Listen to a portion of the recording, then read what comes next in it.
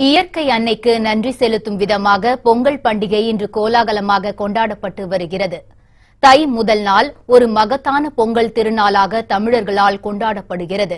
உழவுக்கு உயிரூட்டும் விதமாக இயற்கை அன்னைக்கு நன்றி சொல்லும் விழாவாகவும் பொங்கல் திருநாள் தமிழர்களால் காலம் காலமாக கொண்டாடப்படுகிறது. இதன்படி தமிழகம் மட்டுமில்லாமல் உலகமெங்கிலும் பரவியிருக்கும் தமிழர்கள் வண்ண கோலமிட்டு அதன் மேல் அழகிய பானைகளில் பொங்கல் வைத்து பொங்கலோ பொங்கல் என்று கூறி மகிழ்ச்சியாக கொண்டாடினர். வீட்டு வாசல்களில் தோரணைகள் கட்டியும் கரும்புகள் வைத்தும் அலங்கரித்து காய்கறிகள் மஞ்சள் கிழங்கு உள்ளிட்டவை படைத்து சூரிய பகவானை வழிபட்டனர். இதையடுத்து கரகாட்டம் புலியாட்டம் உள்ளிட்ட கலை நிகழ்ச்சிகள் நடத்தப்பட்டது.